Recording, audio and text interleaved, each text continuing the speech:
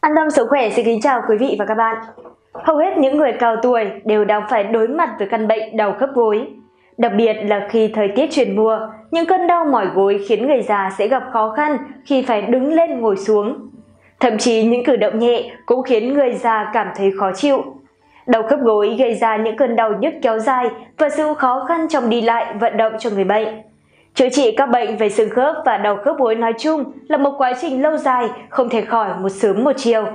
Trước khi chẩn đoán được chính xác nguyên nhân gây đau khớp gối, bạn có thể thử áp dụng cách chữa đau khớp gối bằng thảo dược từ cây lá lốt và ngải cứu ngay tại nhà. Ai cũng có thể áp dụng.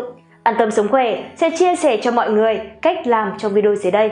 Khớp gối là một loại khớp phức tạp, hoạt động nhờ sự phối hợp của gân, cơ, dây chằng, sụn khớp và bao khớp.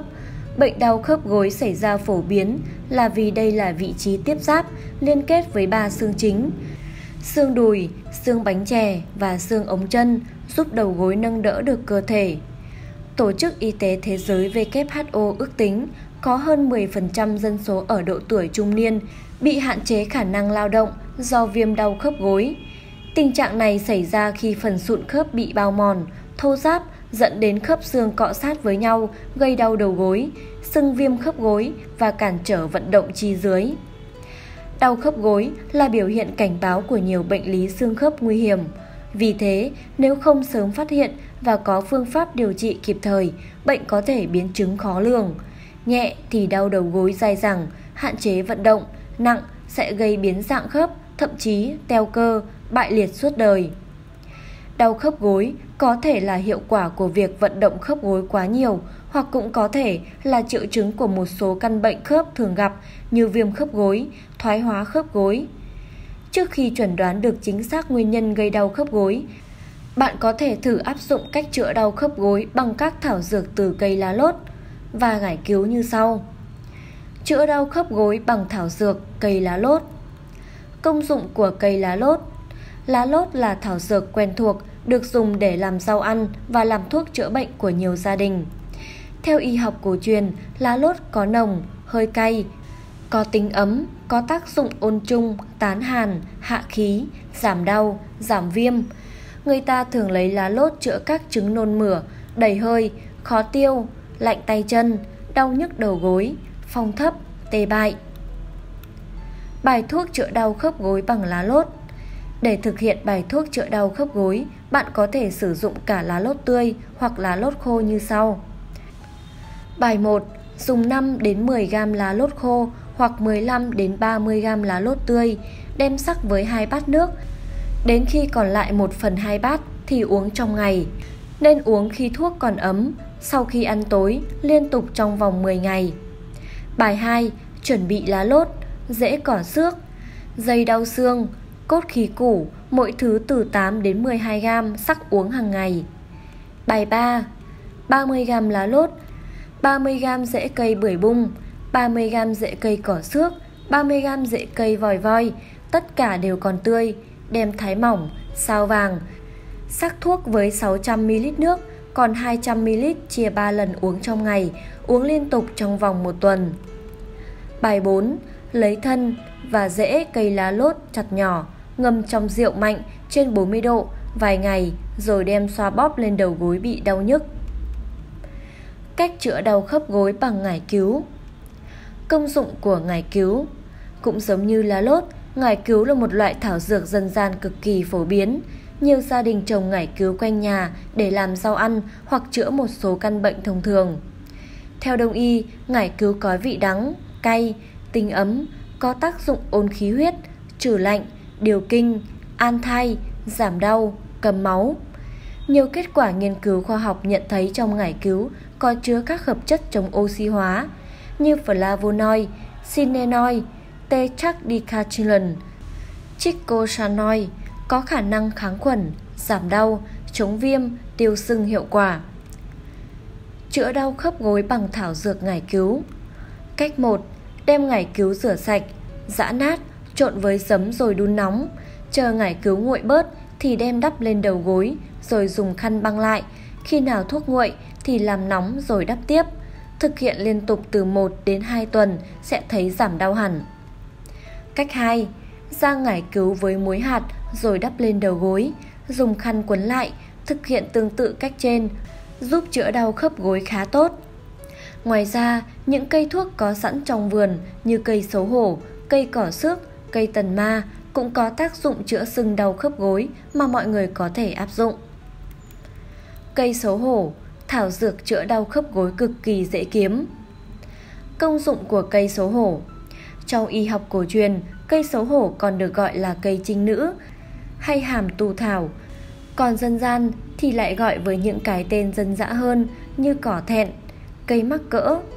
Từ lâu người ta đã dùng lá, cành và rễ của cây xấu hổ để chữa nhiều bệnh khác nhau.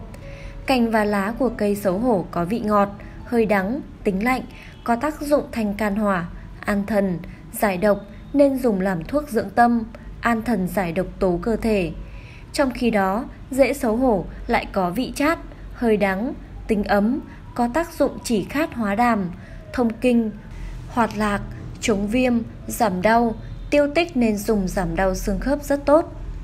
Cách chữa đau khớp gối từ cây xấu hổ Để chữa đau khớp gối, chúng ta có thể dùng cây xấu hổ tươi hoặc khô theo những cách sau đây. Cách 1. Dùng rễ cây xấu hổ rửa sạch, thái thành từng miếng mỏng đem phơi khô. Mỗi ngày lấy khoảng 120g rễ xấu hổ, đem sao lên rồi tẩm rượu 35 đến 40 độ rồi lại sao khô. Sau đó cho vào ấm sắc với 600ml nước. Đến khi còn 2 đến 300ml nước thì chia làm 2 đến 3 lần uống trong ngày. Dùng bài thuốc này liên tục từ 4 đến 5 ngày sẽ thấy giảm đau khớp gối ngay. Cách 2. Kết hợp thêm một số thảo dược chữa đau khớp như rễ bưởi bung, rễ cúc tần, dây đau xương, lá lốt theo 3 bài thuốc sau đây. Đem 20g rễ xấu hổ, 20g rễ cúc tần, 20g rễ bưởi bung, 10g rễ đinh lăng, 10g rễ cam thảo dây, sắc uống mỗi ngày một thang, hoặc có thể ngâm rượu để uống đều được.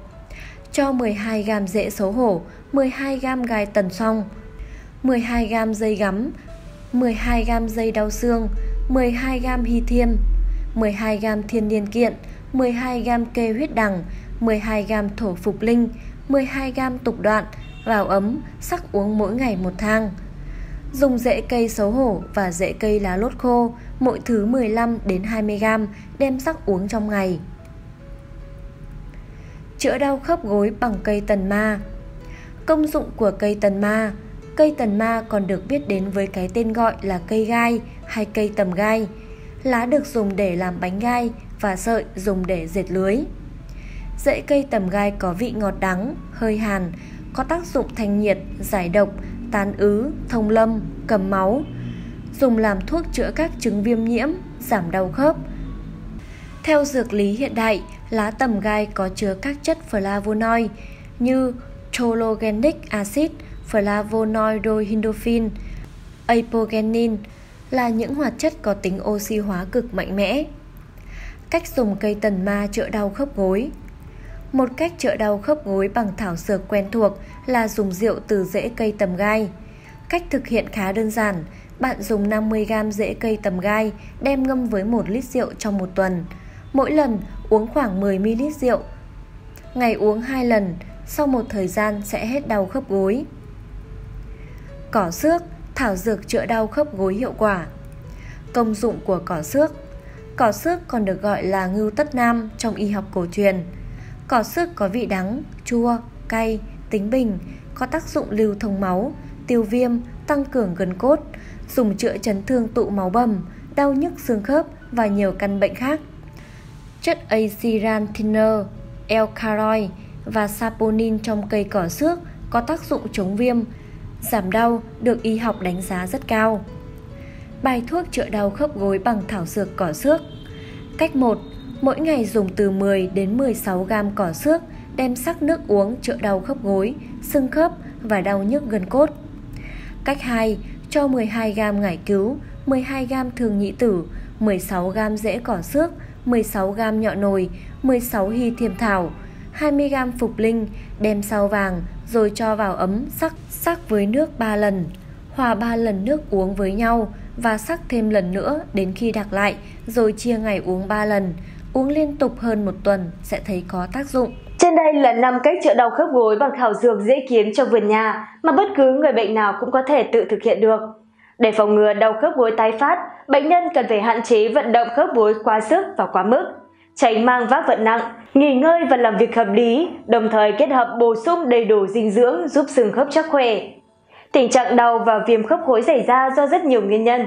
Tuy nhiên, có thể thấy ở mỗi đối tượng, thời điểm, mỗi công việc lại có những nguyên nhân đau khớp gối khác nhau, mà đôi khi bạn không nắm rõ dẫn tới không thể có những phương pháp điều trị hiệu quả. Đau nhức gối do chấn thương Phần khớp gối khi phải chịu đựng ngoại lực rất lớn từ bên ngoài, có thể bị tổn thương nghiêm trọng, gây ra những cơn đau, khiến người bệnh hoạt động gặp rất nhiều khó khăn.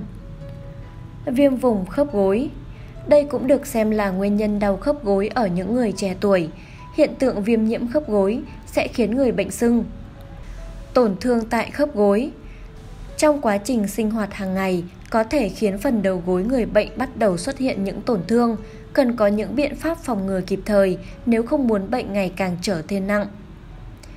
Viêm khớp gối tràn dịch Viêm đau khớp gối tràn dịch gây ra đau khi lượng dịch bên trong khớp gối tăng lên quá nhiều, khiến cho khớp bị phù nề, nóng đỏ, đau nhức rất khó chịu, ảnh hưởng rất lớn đến khả năng đi lại, vận động bình thường của bệnh nhân. Lão hóa xương khớp Lão hóa xương khớp thường dẫn đến đau khớp gối. Đây là trường hợp đa số người cao tuổi nào cũng thường gặp. Tuy nhiên, không phải ai cũng có mức độ thoái hóa giống nhau. Lão hóa nhanh hay chậm còn phụ thuộc vào cơ địa của mỗi người và công việc mà họ từng trải qua. Thừa cân, béo phì. Đối với một số người lớn tuổi, có chế độ ăn uống không hợp lý nhưng lại ít vận động thường xuyên, xảy ra tình trạng thừa cân. Việc này tạo sức ép lên hệ cơ xương khớp, đặc biệt là đầu gối, dễ gặp tổn thương và phát sinh triệu chứng sưng viêm. Trọng lượng dư thừa cũng là nguyên nhân gây đau khớp gối, bởi bộ phận này phải chịu đựng một áp lực quá tải từ trọng lượng cơ thể. Chế độ dinh dưỡng cũng ảnh hưởng rất lớn đến việc điều trị đau khớp gối. Không ai có thể ăn dùng bạn, nên chính bản thân bạn phải lựa chọn chế độ dinh dưỡng hợp lý. Vậy nên, vấn đề đau khớp gối ăn gì cần được quan tâm. Cần cố gắng ăn ngủ đúng giờ và đầy đủ để đảm bảo có đủ máu để đến nuôi xương khớp, cũng như máu đủ dưỡng chất để giúp xương khỏe mạnh và tránh dẫn đến thoái hóa khớp gối. Dưới đây là những loại thực phẩm mà những người mắc chứng đau khớp gối nên dùng để cải thiện tình trạng bệnh. Cá các nhà dinh dưỡng học cho rằng việc thường xuyên ăn nhiều cá biển, đặc biệt là cá hồi, cá ngừ, cá mỏi, cá trích, cá thu, cá tuyết, dầu axit béo omega 3 có tác dụng chống viêm rất tốt, giúp giảm đau và giảm cứng khơ khớp vào buổi sáng ở những người bị viêm khớp dạng thấp. Cải bó xôi Các loại rau lá xanh, đặc biệt là cải bó xôi hay còn gọi là rau chân vịt, là những thức ăn rất tốt cho khớp gối. Các nhà khoa học Úc đã phát hiện trong cải bó xôi có chứa một lượng lớn chất chống oxy hóa là lutein và serasatin. Những chất này có thể giúp giảm đau đầu gối do viêm xương khớp, đồng thời cũng có tác dụng ngăn ngừa các bệnh lý liên quan đến tầm nhìn. Nước cam Uống nước cam cũng rất tốt cho những người bị đau khớp gối. Cam là một trong những nguồn cung cấp vitamin C hàng đầu, chất dinh dưỡng giúp bảo vệ cơ thể chống lại viêm khớp, đặc biệt là viêm xương khớp đầu gối. Một trung tâm nghiên cứu của Úc đã tiến hành nghiên cứu gần 300 người trung niên trong khoảng 10 năm. Kết quả cho thấy những người bổ sung đủ lượng vitamin C cần thiết cho cơ thể thì ít bị hành hạ bởi những cơn đau liên quan đến bệnh thoái hóa khớp gối hơn. Ngoài cam, lượng vitamin C dồi dào có thể được tìm thấy trong ớt xanh, bưởi và dâu tây. Hành tây Người bị đau khớp gối nên ăn gì? Hành tây cũng chính là một trong những đáp án trả lời cho câu hỏi này. Vì chúng là nguồn giàu quercetin, một loại flavonoid có đặc tính kháng viêm mạnh. Những người mắc bệnh đau khớp gối cần tăng cường hành tây vào trong khẩu phần ăn của mình. Có thể trộn với salad, bánh mì, các món hầm để kìm hãm những cơn sưng đau. Nghệ vàng và gừng Nghệ và gừng là hai loại thảo dược truyền thống dùng để giảm đau bao tử. Nhưng các nhà nghiên cứu vừa phát hiện ra nó có thể giảm đau bằng cách giảm viêm. Do đó, đây cũng là hai trong số nhiều thực phẩm được ghi tên mình vào danh sách những món ăn tốt cho người mắc bệnh đau khớp gối. Bên cạnh đó, mọi người cũng nên hạn chế những loại thực phẩm sau đây. Những thức ăn không tốt cho xương khớp nên được hạn chế, bao gồm chuối tiêu, các loại cà như cà ghém, cà pháo, dưa muối, thịt chó. Giảm muối, đường, hạn chế đồ uống ngọt vì chúng có chứa nhiều đường và hàm lượng phốt pho cao. Kiêng ăn những thực phẩm giàu phốt pho như nội tạng, thịt đã qua chế biến. Không nên ăn đồ ăn nhanh, thức ăn chế biến sẵn, thức ăn chiên quá kỹ và nhiều dầu. Hạn chế ăn quá nhiều thịt bò, thịt gà, ăn 1 đến 2 lần trên một tuần là được. Không nên ăn đồ ăn nhanh, đồ quá nhiều dầu mỡ. Hạn chế các sản phẩm bơ sữa vì chúng chứa nhiều chất béo bão hòa làm thêm viêm đau. Nên hạn chế những thực phẩm giàu axit oxalic như nam Việt quất, mận, củ cải. Riêng đối với đau khớp gối do bệnh gút, cần lưu ý thêm là kiêng ăn các loại đậu, cây họ đậu, măng tây, súp lơ, nấm. Để tránh khiến khớp gối bị đau hơn, người cao tuổi cần nghỉ ngơi hợp lý và hạn chế vận động nặng. Song song đó, phải kết hợp luyện tập với mức độ nhẹ nhàng như đi bộ, đạp xe, tập dưỡng sinh hay tập các bài vận động được bác sĩ chỉ định để giúp xương khớp linh hoạt và dẻo dai. Mong rằng với những chia sẻ ở trên, căn bệnh đau khớp gối sẽ không còn là nỗi ám ảnh của mọi người nữa. Chúc quý vị và các bạn có thể áp dụng được những chia sẻ của chúng tôi để cải thiện tình trạng bệnh tật.